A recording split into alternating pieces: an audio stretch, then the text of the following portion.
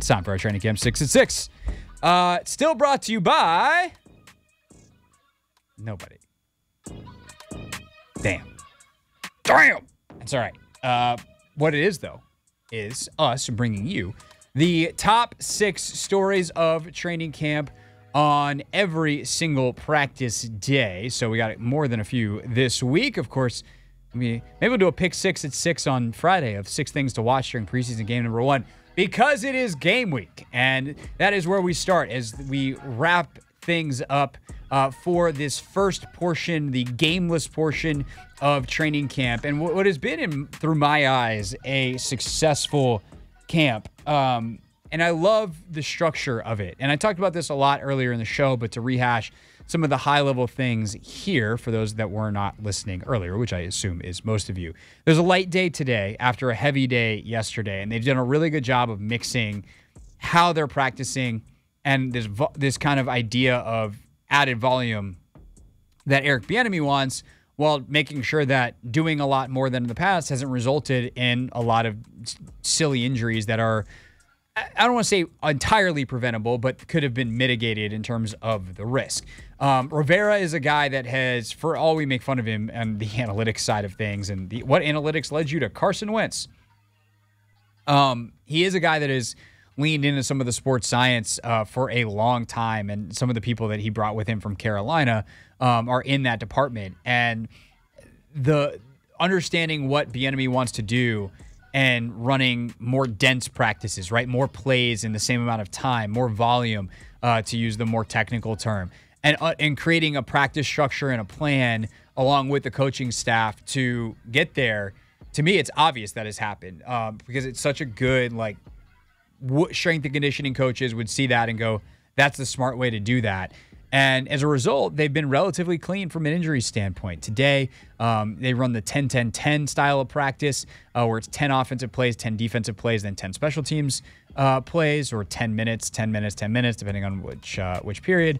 Um, and they it, helps guys stay off their feet um, and keep an easy day easy. I'm a big proponent of easy days easy, hard days hard. Today's an easy day. It's an easy day for anyone. But what's also happening is because they've done this the right way and they've built up a good ramp and now are practicing at this hard, harder intensity with more plays on the average day on, on the hard days, which are more most days in training camp, they've created more resilient athletes. And so these guys should, should, knock on wood, be more resilient to injury during the season because they're just better conditioned. And there, there's kind of two ways to think about this. Um, I'll, I'll use, it's not really analogies, but two examples, right? So let's say you have to run in a game at 18 miles an hour. A lot of people traditionally be like, well, I got to run 18 miles an hour and I got to be really good at running 18 miles an hour. And my school of thought is, well, what if we train you to run 22? Now, 18 is not nearly as fast. So your effort level is not as high. Your stamina is greater. Your ability to do, to perform, like, would you rather perform a complex task going full speed or, or be able to take your time. If the goal is accuracy, take your time. So if you can make it easier, then great. And I think that some of that thinking has kind of gone into this where we're going to make practice almost harder than the games in some situations to make it so that you can function well in the game. By the same token, if you have to run and you know, I got to run 10 100 yard sprints on a game day, well, you could also, you know, kind of the EB approach is like, well, I'm going to train you to run 15 and that way 10's nothing.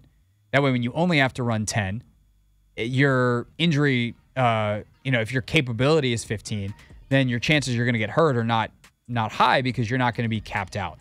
And so days like today are important from the light standpoint to be able to recover and be fresh on those days when it's time to go run the 15 or time to run the, you know, the 18 miles an hour. And so uh, again, just really impressed with how they're structuring everything and how they're making sure to balance that with you know the right meetings and, and all that kind of stuff that you talk to players and it seems like they're really enjoying the way that Eric Bieniemy is teaching the offense and it's also created great opportunities for the defense because this is the other trickle down of kind of running practice the way that they're doing um, is if you run 100 plays because the offensive coordinator wants to wants to run 100 plays it's 100 plays for the defense too. And so some of these defensive back combinations, some of the pass rush combinations, some of the the linebacker combinations, they've had a chance to experiment more defensively than they ever had in the past. And I think that is also going to pay dividends for them uh, come the regular season. So practice structure remains a top story for me. Um, and I think today is just another reminder of, of even though it's a lighter, easier day where it seems like they don't get a lot done, they actually are super efficient. And even today, I mean, they ended 20 minutes early because they got the work done they needed to and then got off the field. Um, so it, it's really just smart. Um, and there's there's a lot of credit to go around. Everyone wants to give it to EB, and like he deserves a lot of it. Um, but there's a lot of credit from the the trainers and the the health staff and the sports science people to Ron Rivera for bringing everybody together. So credit credit where it's due. Uh, all right, training camp pick six at six. Things more specific to today. Jacoby Brissett got reps with the first team offense. Oh, is that a thing? Big thing, little thing, not a thing at all? Here's what Ron Rivera said when asked about it afterwards. Yeah, uh, at some point he's going to have to work with them, you know, just so he gets to know them and they get to know him. Um, we started talking about that the last couple days, trying to figure out when would be a good opportunity to do it. And uh, so one of the things that Eric and Tavita thought this would be a good, good, good one with the 10-10-10 practice today. And so we went ahead and gave him the last couple in each period. And there were periods it looked like, at least to my vantage point, that Brissett was out there like the entire uh, the entire time with the ones. Um, you know, Ron would know he's the head coach, I guess, but um, and maybe it's one of the periods like he split reps with Howell and then just stayed out there with the twos. But I, I thought there were some times where they jogged out as a first team offense for the first time after you know the threes had been out there and they rotated back around and Brissett's the guy that jogged out. Anyway, whatever. Like the the larger point is correct if Jacoby has to play this year, and again, this team has played three quarterbacks basically every year since Kirk Cousins left, if not literally every year since three Cousins or since Cousins left, and that's at least three. Um, don't need to remind everybody about 2019, um, but you want those reps to be in the bank. And a day like today, that's a little bit lighter, that is about the mental reps, about some of the timing, about some of the intricacies not full speed. Let's go make plays. We're not competing. Like you are competing, but it's the ones on the twos and the threes, um, not ones on ones, good on good. Those are the reps you want to get your back up. And so a, a good chance today, and they they did that. As for Brissett getting acclimated, if they do need him, um, here was Ron on on how the veteran nature and the veteran experience that Jacoby has plays into that in a positive way. It's a little bit different. It is. Um, you know, Jacoby is a veteran guy and him getting acclimated happens a lot quicker than, than younger guys, obviously. And that's one of the things that um, I think bodes well for a guy like Jacoby, you know, being part of your quarterback room. You know, he doesn't need the, he doesn't need the total number that you know we've been trying to get Sam at. And again, like when you run 100 plays, it's easier to get a couple of extra snaps in for your backup guy. Now, when you're doing a situational period, you're not going to be like, all right, switch it halfway through. And you also don't want to run your receivers and your offensive line, your first team in the ground, just so the quarterback can get a, the, the second team quarterback can get some extra reps. That's why today, with a little bit lower intensity on all of the reps, is a good day to mix it in. And Brissett, because he's got so much experience, as Ron said, can theoretically take a little bit more out of it. Uh, Logan Thomas, this thing number three in our pick six at six, six most important and interesting things from training camp today. Uh, Logan Thomas out again. It's day three in a row. Starting to get a little concerned on it. Uh, not ideal. Here's Rivera afterwards. Slowly, gradually. You know, he's a guy that we want to be careful with uh, first and foremost. Uh, so the thing that we've got to you know be aware of is just you know he's an older guy. He is coming off uh, an injury. Yes, it was you know two seasons ago, but you, you can't be too careful, especially in this situation and in this offense, knowing just how vital the tight end is to this uh, offense. You know we've got to be very smart about that.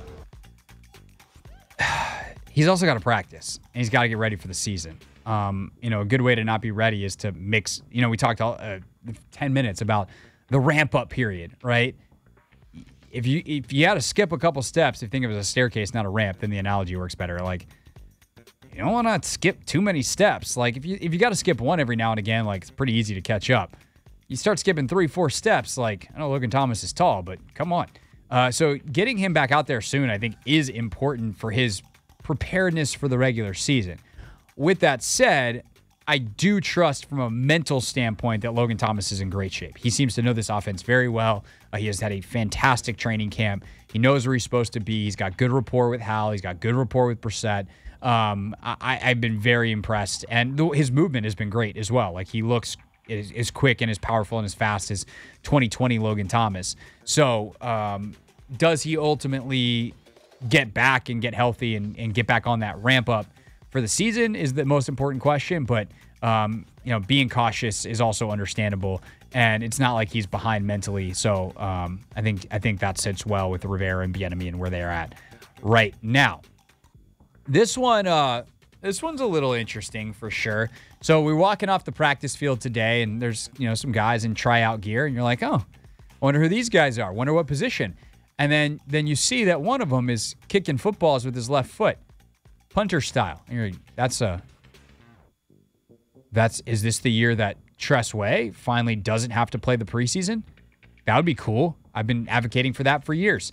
Sign an extra punter instead of instead of wasting the 90th roster spot on a guy that you're definitely not going to keep.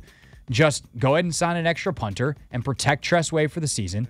He'll be ready to go week one. Um, is that what's happening? And turns out uh, the news is slightly worse than that. What's well, it's just on? out of abundance of concern. Just want to make sure, you know, Tress has got a little tightness in his lower back. So we just want to bring a couple guys in, get a chance to watch him. Oh, by the way, that uh, that wasn't a deep breath by Rivera uh, here. So we just want to bring a couple guys in, get a chance to watch him. Um, Anthony, there was, uh, I think it was a bee that flew, like right here, and so he he kind of that's actually funny. I don't know if it was a bee or whether it was like a. I, I was I was far enough away that I couldn't see exactly what type of large flying bug it was, but Ron very calmly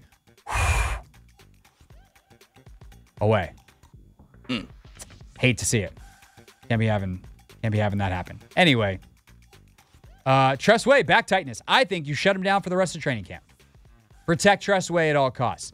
Now, I did also find it interesting though that uh, they worked out some long snappers today as well. And Ron seemed to uh, put the kibosh on that being any uh, reflection of Camaron Cheeseman's job so far in training camp, where he's had some bad snaps. He said, you know, when you try out punters, you need you need snappers. But it's the kind of thing where um, I mean, you could just have Cheeseman snap to him. You could just toss him the ball. Like, there's a lot of ways you could work around that other than having a long snapper. You bring in a long snapper to try out because you want to try out a long snapper. You want to have a file in case all of a sudden in the game on Friday, Cheeseman sends one over someone's head or into the ground or whatever, and all of a sudden you've got a problem. Um, so I understand that Ron probably doesn't want to cause panic but he was very short and very mum on that. And I am admittedly reading between the lines, but I am reading between the lines that it's like, yep, we're trying out long snappers just in case. Hopefully it's nothing. Hopefully Cheeseman is fine. But it's the kind of thing where it's like, you cut Nick Sundberg a couple years ago for no bleeping reason. The guy was nothing but consistent and steady for almost a decade. And, and that's all you want out of a long snapper. You want consistency. And he was the model. And you cut him because I don't know why. Then they drafted Camaron Cheeseman, a draft pick on a long snapper. Resource management, kids, it's important. Learn about it, live by it. All right, uh, last two training camp pick six at six. Uh, quick throwback to uh, yesterday. Actually, let's go to the kickers first, uh, and then we'll get back to yesterday. Uh, kicking competition, obviously in full swing. And uh, both the kickers were at the podium today because, of course, they were. Uh, Joey Slye, the incumbent, on whether he knew they would bring another kicker into camp. I mean, I didn't. I didn't know if they were or weren't. Didn't really care if they were or weren't. Um, I knew that I had stuff that I needed to work on um, coming into this year anyway. Um, had a little hiccup towards the end of last year and didn't put the final stamp that I wanted to on it. So um, knew I had stuff that I needed to work on and still continue to progress And Like I said, going into year five for me, I still got things I'm working on to be the best that I can be. So um, for me, it was regardless if they brought someone in or not, I was still going to be doing the same thing. So. Always looking inwards for improvement. We like that. Approve it. Uh, pretty funny exchange between Slye and Mitch Tischler, by the way.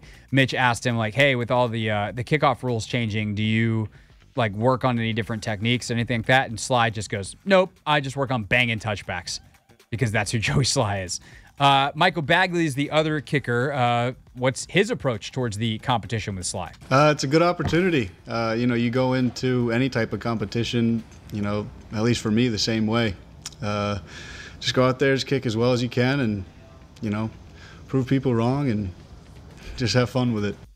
There you go. There's your kicking competition update. Uh, be curious to see how they split things on Friday. My guess is like Slye gets the first half, Badgley gets the second, and we'll see who gets the kickoff uh, if they they choose to kick off first.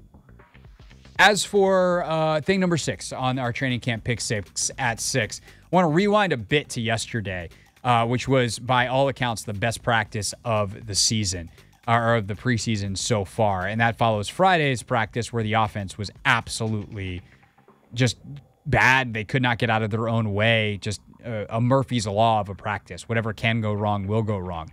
And the way they bounced back Sunday, I think, shows the character of this team. Like, again, is that as character ultimately going to be enough to win you games? No, but I don't think you can win championships uh, or compete on a high level day in, day out, week in, week out in the NFL without it. You have to have a competitive character, an ability to bounce back, an ability to be resilient and to keep fighting and and and do the right things and trust your process. And that's what they showed on Sunday. Um, they showed that despite the fact that doing all the things or trying to do the things that they're supposed to on Friday blew up in their face, you just go back again and do them again, and they wind up working out a lot better on Sunday. The timing was better, the rhythm was better, guys were catching the ball, better throws from the quarterbacks, offensive line did a better job.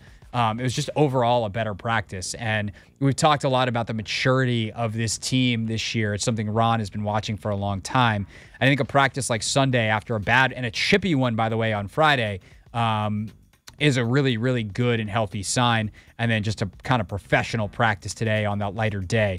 Uh, all good things. We'll see again, skill wise, you know, execution wise. What does it lead to on in terms of wins on Sundays? But um, you know, another another checked box, if you will, for this team.